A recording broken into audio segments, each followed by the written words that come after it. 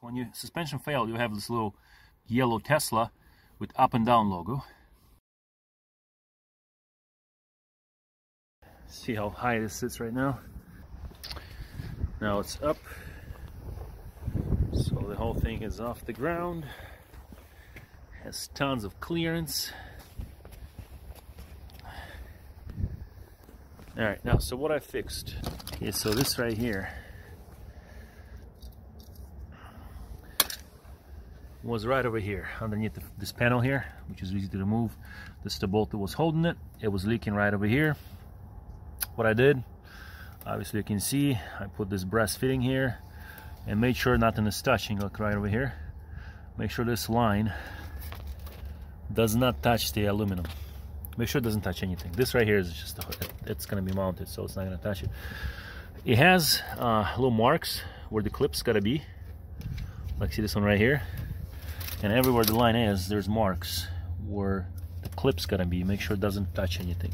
Because a lot of people had problems with hoses touching here like the aluminum or something else. It would rub against something made hole so right now it's routed so it's not gonna do it.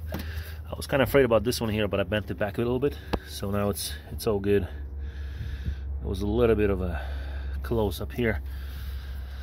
All right so then when I did all this, nothing really worked. Uh, this is your pump. There's your solenoid block right here. That's what controls the suspension. Uh, it wasn't working. The car dropped to the ground. We had to drive it like this for a while just to get here. So what are you gonna check when this happens? There's two boxes right, uh, two fuse boxes right here. I could open this up. Okay, so this fuse right here the 25 and this is an F36 fuse. I think it was this one. It's either this one or this one but uh, it's the last fuse. I think it's this one here. I don't remember exactly but look for F36 this fuse was uh, I checked it, it was good. Now next thing you're gonna check is your relay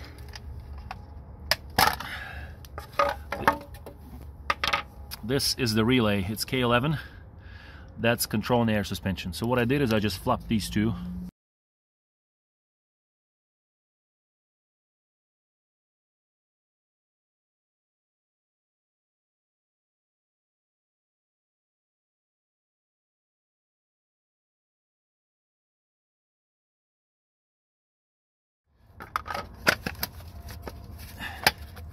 Also, you can take the relay out. I'm not recommending doing it, but that's how I checked that my pump is working. I just took, actually I'll show you how to do it. I'm not gonna take it out because I gotta set the system. When you take this relay out, I'll show them this one here. I don't want to touch their suspension anymore. So, see the the copper contacts is your power, which is right over here. If you jump these two, you're gonna create a you're gonna create a connection. That's what this thing does essentially. When power from the battery goes to these two contacts this one and this one these two silver, silver ones plus and minus what it does it connects these two. So in a normal state it's disconnected as you can see on the little picture here.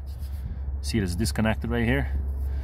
When you get power to contact 86 and 85 you get 12 volts to it it will connect to 87 and 30 which is this these two guys here. You can put a paper clip in here and you're gonna make the connection yourself. Um, I recommend using thicker wire with the spade terminals, but if you don't have it, paper clip will do, just don't do it for long. So I took this relay out, this one here. I took it out and I put a paper clip and this thing ran. So I knew it's working. Tesla said they had to replace the compressor and uh, I think I have the invoice I'll show you. They had to replace the compressor and the, and the solenoid block. These two things I just showed you. What happened to mine is my theory, since we came from since we came from Florida to Illinois, we had a leak before. This thing was leaking for a while. So it was sucking in Florida air with humidity. It, it, it filled the tank and the whole suspension was filled with humid air what happened is it was really cold when we are coming up and I think this thing just froze up. It just froze up that's it. This block that controls the suspension every every single shock it just froze up. So when this happens if your car drops to the ground get into the heated garage and you could try actually put a like a, a, a hair dryer on that block.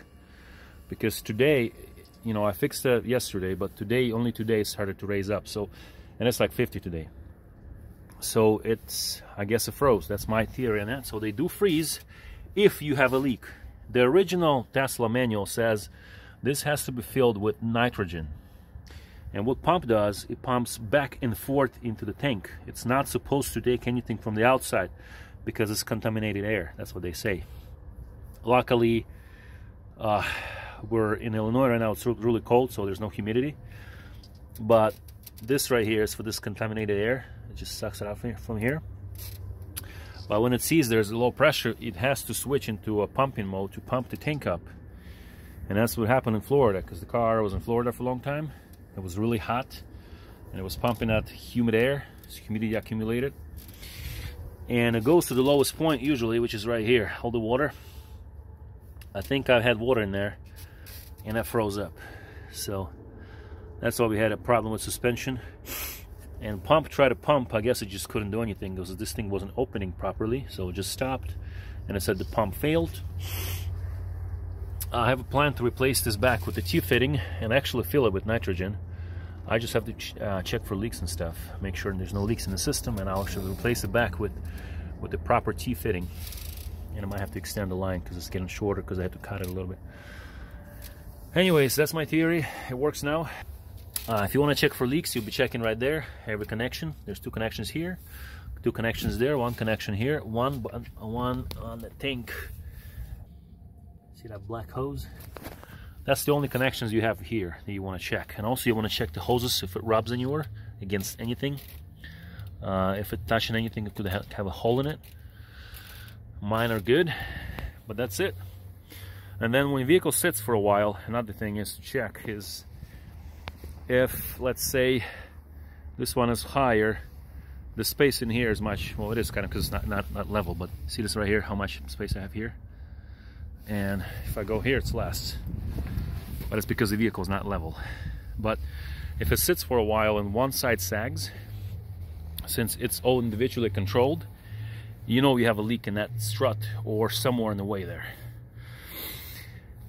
and all the struts are marked on the block left right P is pressure that's coming from the pump like I said if it sits for a while you see one side sagging more than another one you have a leak because every single one of them is controlled by this little block there. So if one side sags, another is higher, um, you gotta check. Well, it's after it's pumped, if it's uneven, you can go to Tesla, they'll level it out for you. It's like 40 bucks. They'll just calibrate the uh, suspension. It might not be, it might be out of calibration. It does happen, the sensors go out of calibration. So, but once again, if it sits for a while and the suspension on one wheel or a couple wheels goes, you know, low, not like you left it, it means you have a leak somewhere. Let's say this wheel went down, then it's from here to this block. And this one here, I think is the blue hose. You can actually see it right here. I think it's the blue one. Uh, you, you got to check all this, which is close. The rear is to be harder, but the fronts are easier because it's right here. But yeah, you got there's videos on how to disassemble all this this whole thing here, the tub and they call it a tub, but it's a frunk. But yeah, that's how you do it. Anyways, if you have any questions, um, leave me a comment. Maybe I could answer it. They wanted to charge me 1500 bucks to replace this compressor and that block, which is still working. And that's their easy solution. That's how they do all the time. And on the older, this is a 2013. That's very important actually. On the older Teslas, you have to reset that computer. You go into service, you go into wheel configuration, and you change it in this case from 19 to 21 and I confirm it it's gonna happen next I'm sure you guys are aware of it's gonna reset itself hear the little click. That's the battery disconnect. And it's resetting right now. I did that yesterday. It was not working. The block was frozen. That little block with the hoses was frozen because it has moisture in it. And it probably still has some moisture in it but I hope it's it's not gonna freeze again because you know all the air I, I drain all the air from the tank when I was replacing this. So it might still have some moisture in it but eventually since I'm in Illinois right now and it's cold. Hoping it's not gonna freeze up but if it would I'll just warm it up. The car could be driven this way. I'm not recommending it. You could damage your suspension but it could be driven like this.